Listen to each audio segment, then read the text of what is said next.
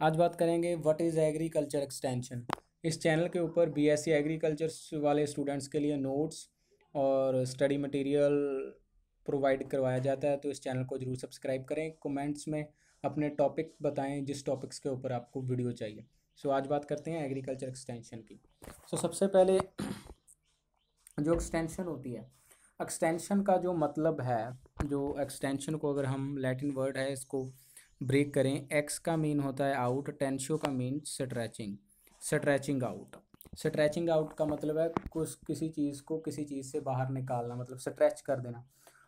सो so, इसी तरह जो एक्सटेंशन का मतलब बनता है वो बनता है out of school system of education मतलब कि जो एजुकेशन है एजुकेशन को अगर हम स्ट्रेच आउट करते हैं तो हम उसको स्कूल सिस्टम से बाहर निकाल के, स्कूल सिस्टम की जो बाउंड्रीज़ हैं, स्कूल कॉलेज की जो भी बाउंड्रीज़ हैं, जब हम एजुकेशन को उस बाउंड्री के पार जाकर किसी को एजुकेशन देते हैं तो उसे एक्सटेंशन कहा जाता है। जो एजुकेशन है, वो एक्सटेंशन का ही पार्ट है।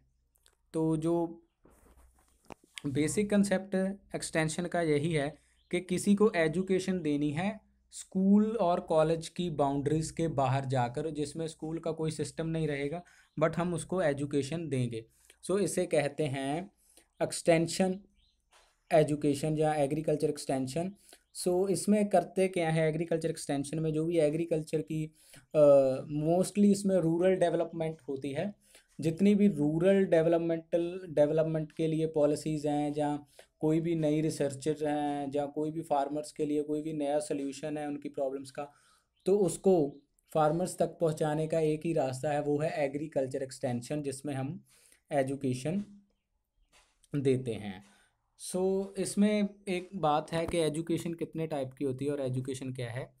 एजुकेशन का मतलब होता है किसी के भी एटीट्यूड स्किल्स और जो भी उसकी, उसके पास नॉलेज है, उसको इंक्रीज करना और उसमें डिज़ायरेबल चेंजेस लेकर आना।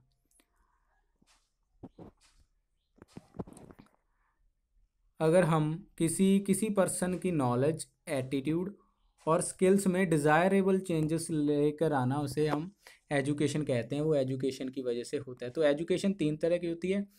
इनफॉर्मल एजुकेशन का मतलब है जो हम डेली लाइफ के एक्सपीरियंस से पूरी लाइफ सीखते रहते हैं। किसी भी चीज़ से अपने जो आसपास एनवायरनमेंट है उससे हम जो भी एक्सपीरियंस करते हैं, जो भी सीखते हैं फुल लाइफ के लिए उसे इनफॉर्मल कहते हैं। नॉन फॉर्मल एजुकेशन वो होती है जो कोई एक पर्टिकुलर एजुकेशन होती है, जो कोई मतलब के एक एक सिस्टमिक एक्टिविटी होती है जो किसी पर्टिकुलर चीज़ को बताने के लिए। जैसे मान लो किसी कोई नई ऐप आई है ऐप आई है जहाँ कुछ भी कुछ भी नया आया है जो किसी को नहीं पता जहाँ हमने किसी चीज़ की ट्रेनिंग लेनी है, जैसे ये है vocational adult education vocational education functional literacy so ये कुछ पर्टिकुलर टॉपिक हैं जो हमने सीखने हैं तो उनको सिखाने के लिए नॉन फॉर्मल एजुकेशन होती है। सो लास्ट वाली है फॉर्मल एजुकेशन जो हम सबको पता ही है, जो हम एक पर्टिकुलर स्कूल में जाकर पूरे सिस्टम के साथ लेते हैं तो वो होती है फॉर्मल एजुकेशन सो मुझे उम्मीद है आपको अच्छी लगी होगी वीडियो तो चैनल को सब्सक्राइब करें और बी एस सी एग्रीकल्चर वाले स्टूडेंट अपने फ्रेंड्स के साथ शेयर करें. Thanks for watching